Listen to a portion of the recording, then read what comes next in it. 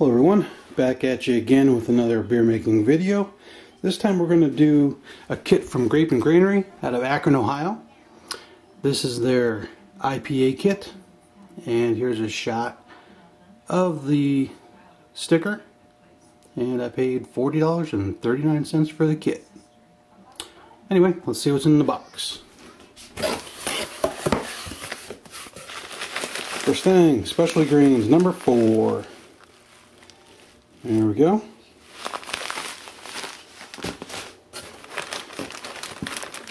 Get a bag of assorted goodies. We'll go over that in a second. I went ahead and pre-opened it so I could, for ease of videoing. We'll come back to that. Here we have dry malt extract. This is a one pound pack.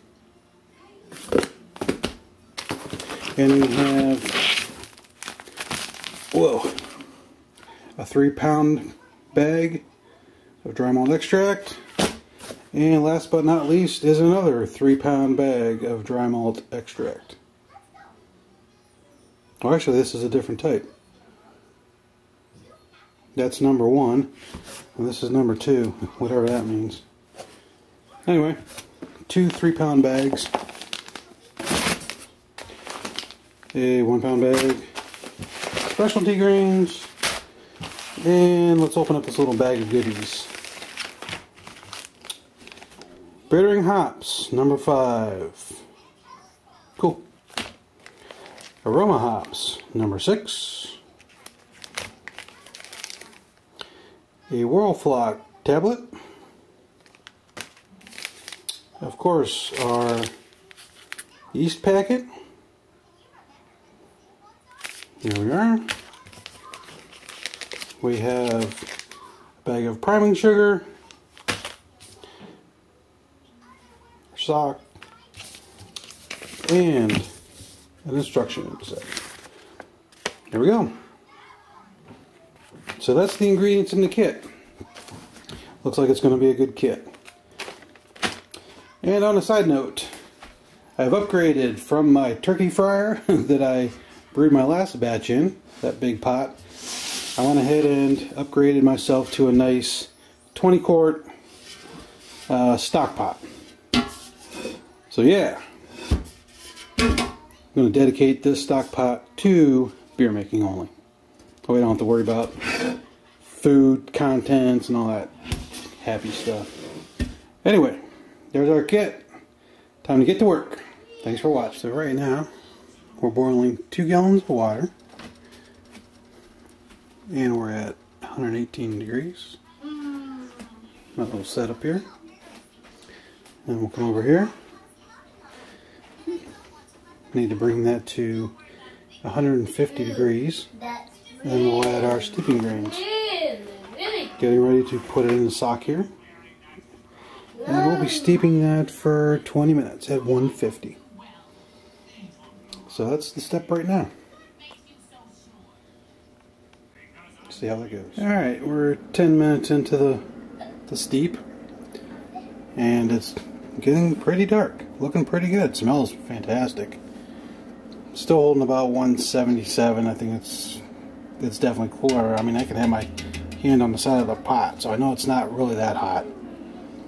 But uh, I've been stirring it about every five minutes or so um, tapping the bag, making sure it's getting lots of fluid throughout the grains. Go from there. Nine more minutes, and we'll uh, take out the, the steeping sock, add two more gallons of water, bring it back to a boil. We'll go from there. Okay, so I just added the three packs of dry malt extract and uh, bringing it back up to a boil. Note to self, once you start pouring in the dry malt extract, uh, don't let it fall fast. To a nice consistent flow from the bag. I uh, I let it fall in. Um, I pretty much tried to dump the whole bag in at the same time, and um, the characteristics of this when it hits the water is pretty much it turns into concrete. It gets it gets pretty uh, solidified instantly. So I poured it in kind of fast and it went everywhere in the stove.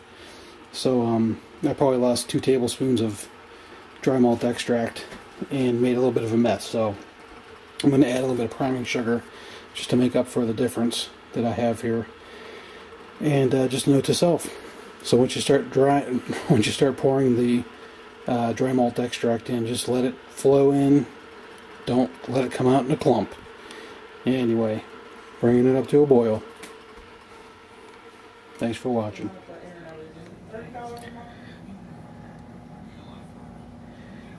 Looks like it's alive.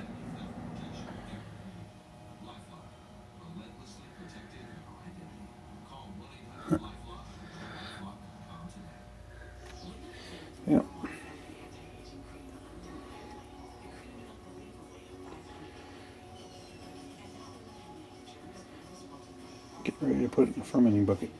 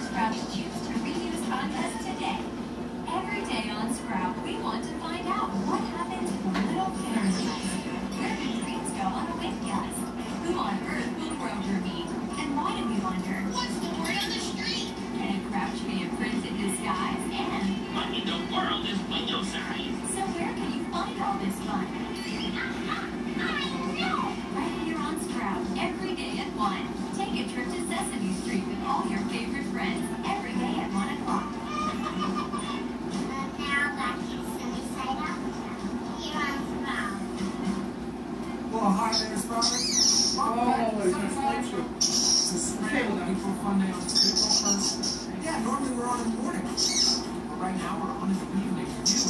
Now we're gonna get to say goodnight and everything. It's gonna be fun. Well, we put on some hats, we're gonna do a little dancing. Together. Alright, back at you with the last video of this series, brewing this IPA from Grape and Granary in Akron. I uh, just got in a bucket here, put it up in the closet. It's going to sit here for probably two weeks. This is going to be its home. As you can see, I'm right around 74 degrees. Came down a little bit. I added a little bit more cold water to it and stirred it well. Uh, brought the temperature down a bit. Put my airlock on there. As you saw in the last two videos, uh, my daughter was sleeping. There wasn't any audio. I wasn't speaking, but um, starting gravity was zero, about 0.708% is what it estimated. It's a little bit high, I think, on the instruction sheet. It said 0.67, somewhere in there. So it might be a little high. No worries. But uh, I think we're good to go. So for probably two weeks here, we'll let it go. Let it ferment. And uh, we'll bottle it. I don't know what I'm going to bottle yet. I got a bunch of bottles, of course, and got some 40s. I might try to bottle in a 40 this time. Get a big old 40 ounce IPA. So I might do that in one or two. We'll see. Anyway, that's it for this video. Thanks for watching. Be back when we bottle.